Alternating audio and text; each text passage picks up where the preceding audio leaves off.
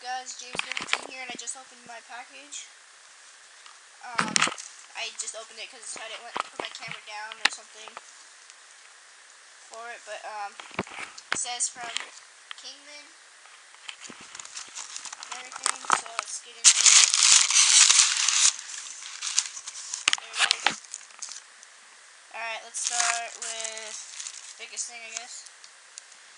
16 inch sniper barrel compatible with all uh, Spyder markers. Nice. Comes in its own little case. Here you got a package of awesomeness. Not really, but still,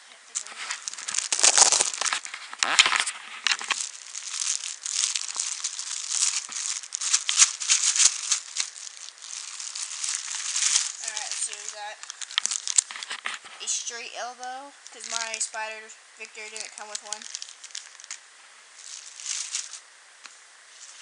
A Spyder barrel uh, sleeve, cover, whatever you call it, there's a lot of names for them. And last but not least, um, some high performance paintball marker oil. So mine also didn't come with this stuff. So yeah, guys, that's about it.